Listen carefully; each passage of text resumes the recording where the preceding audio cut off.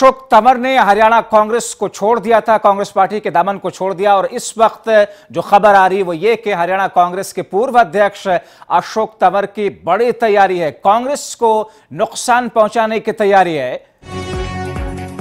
तो अशोक तंवर अब कांग्रेस के प्रत्याशी को तमाम जगहों पर हराने की कोशिश करेंगे। कांग्रेस का चुनावी खेल बिगाड़ने में अशोक तंवर इस वक्त लग चुके हैं। यानी कि कांग्रेस के मुकाबले दूसरे प्रत्याशियों को अशोक तंवर अपना समर्थन देंगे।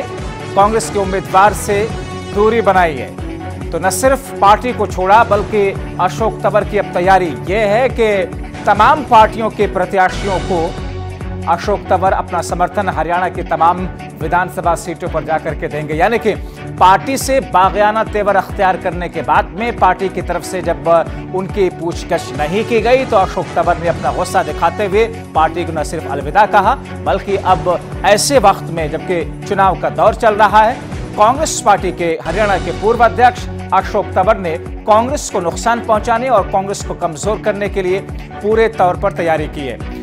हमारे सहयोगी और संवाददाता रमेश सिंह फोनलाइन के ज़रिए इस वक्त जुड़ चुके हैं। रमेश आ, क्या ये माना जाए कि अब कांग्रेस के अंदर अंतरकलह तो थी ही पार्टी को छोड़ ही चुके थे मगर अब उनकी पूरी एनर्जी कांग्रेस को हरियाणा से दूर करने की नुकसान पहुँचाने की? देखिए बिल्कुल अशोक तंवर के जितने भी कार्यकर्ता हैं वो मिलकर के कांग्रेस के साथियों का प्रचार नहीं करेंगे बल्कि अगर देखा जाए तो जो दूसरे सहयोगी दल है उनका प्रचार करेंगे। ऐसी कड़ी में जो हमारे सूत्र है वो साफ़ तौर पर बता रहे हैं कि अशोक तंवर दरअसल बसपा के जो जगाधरी से उम्मीदवार है, उनके साथ बैठक कर रहे हैं और उस बैठक में वो फैसला लेने वाले हैं कि वो अपना समर्थन पूरी तरीके से कहीं ना कहीं वो बसपा के साथ करते हुए दिखेंगे। उनका कहना है, वो उन्होंने आज प्रेस वार्ता के दौरान भी कहा कि वो जहाँ पे उनको लगता है कि कोई चिताऊ उम्मीदवार होगा, वो उसको समर्थन करेंगे। लेकिन कहीं ना कहीं ये कांग्रेस के लिए एक बड़ी परेशानी है कि वो कांग्रेस से इस्तीफा देने के बाद अब कांग्रेस में विद्रोह की रमेश क्या ये माना जाए कि कांग्रेस के मुकाबले वो बीएसपी या दूसरे पार्टियों के नेताओं को समर्थन तो देंगे? बीजेपी भी उसमें शामिल है जिनको सपोर्ट करेंगे?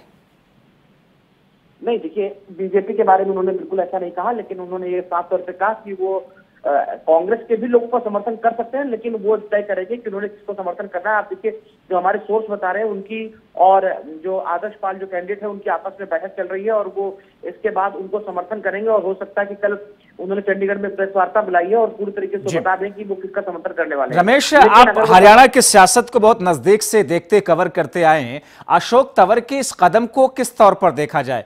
क्या वो गुस्से में कांग्रेस से बदला ले रहे हैं? या अभी भी कोई स्पेस बचा हुआ कि कांग्रेस आगे उनको मनाए और कोई पद दे कोई कद बढ़ाए उनका? देखिए वो केवल कांग्रेस से बदला ले रहे हैं। उनका बाकी कोई मतलब नहीं है कि कोई उनको मनाए या ना मनाए।